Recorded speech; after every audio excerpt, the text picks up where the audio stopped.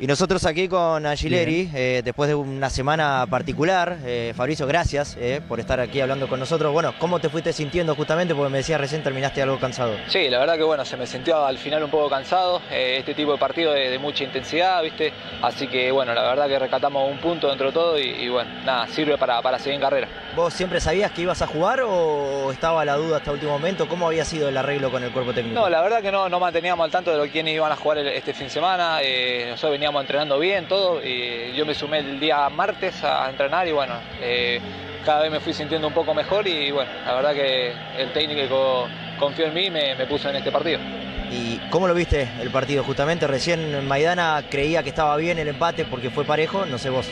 Sí, es un partido muy parejo, este tipo de partidos son así, trabados, se, se cierran los espacios. Eh, creo que el que cometía el error se iba a quedar con el partido, como te dije, es un partido parejo, así que bueno, creo que el empate quedó bien para, para este partido. Bueno, eh, obviamente hasta donde quieras decir, lo que quieras contar, pero eh, lo más importante siempre es la salud, por supuesto.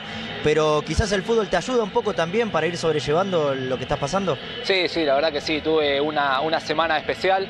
Eh, con la salud de mi papá y bueno, la verdad que mis compañeros, el cuerpo técnico el día a día me, me sostuvieron, me, me, ponían contento todos los días, así que bueno, eh, me fui sintiendo mejor y la verdad que hoy en día estoy, estoy un poco mejor. Gracias. No, gracias a usted.